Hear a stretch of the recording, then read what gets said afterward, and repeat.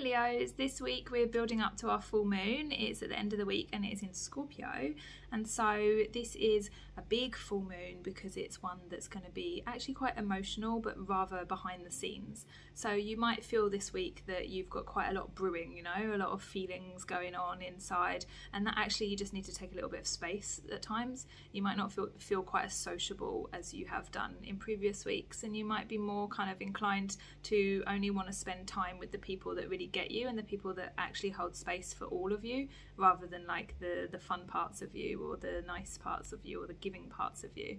And so this is a sign this week that you just need to really watch your energy levels and to really um, be very much in touch with yourself because Scorpio is this fixed water and so on the surface it doesn't appear like it has you know a lot of emotion but deep down there is so much going on and so if you do feel like you have a lot going on this week then just take a little bit of time for yourself and uh, make sure that you're around people that really get you and that they give you um, the kind of uh, space to be yourself and this will be um, much more helpful for you to receive the guidance of this full moon.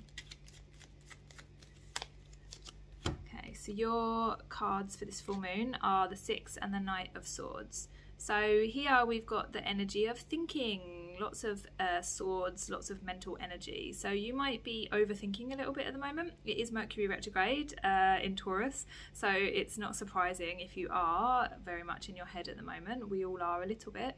And so this is just suggesting that there is a lot of healing going on. There's some healing uh, going on in the way that you think. And so you don't need to be... Um, kind of jumping from one topic to the next topic you know um, actually there is safety here you know. It's it's like saying um, you know previously there there had to be a lot of overthinking because you, you were in a situation that needed it but now you might not actually be in that situation anymore and you don't need to be overthinking. And so is there any space for you to kind of claim back this week and to say like actually I don't need to be ruminating on this. I don't need to be going through the motions on this because everything is okay so I can just think you know, a normal pace and I can just slow it down a little bit.